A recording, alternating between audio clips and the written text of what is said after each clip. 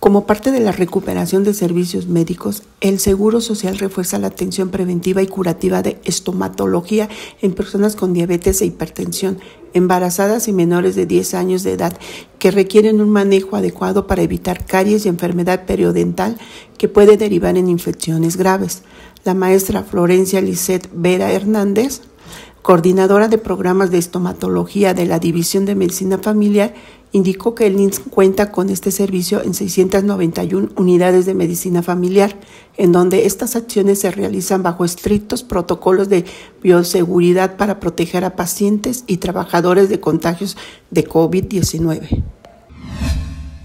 Mañana, 8 de julio, la doctora María del Rosario Canseco Raimundo, jefa del Departamento Clínico de Alergia e Inmunología del Centro Médico Nacional La Raza, dará una plática sobre la importancia de la prevención y tratamiento oportuno de las enfermedades alérgicas, esta reacción del cuerpo a partículas extrañas. Te invitamos a seguir la transmisión en vivo a través de las redes sociales de LINS a partir de las 12 horas. No faltes. Pasa unas vacaciones en familia. Intégrate al curso vacacional recreativo INSB 2021 en su modalidad presencial y virtual.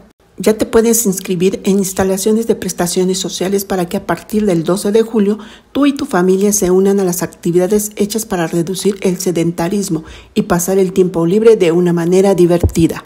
No dejes pasar la oportunidad. Te esperamos. Instituto Mexicano del Seguro Social.